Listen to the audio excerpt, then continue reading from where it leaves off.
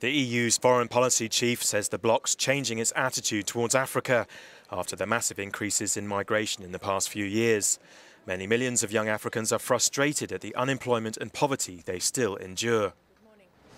We are moving from uh, the uh, traditional, purely uh, aid uh, centered approach uh, to Africa to a real partnership. This is the best way to manage migration. This is also the best way of preventing uh, radicalization and facing the challenges, but also getting the opportunities that the African continent offers to its young population.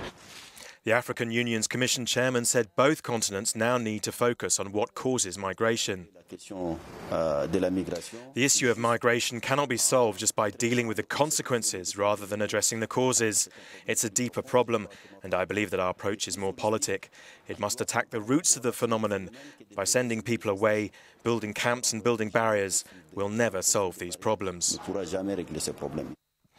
Thousands of young African migrants make two dangerous journeys before they reach Europe and what they hope will be a better life. First, they must cross the Sahara Desert and then the Mediterranean Sea in unreliable and overcrowded vehicles and boats. The Mediterranean has become a graveyard. This year alone, over 1,300 refugees and migrants have drowned trying to reach Europe.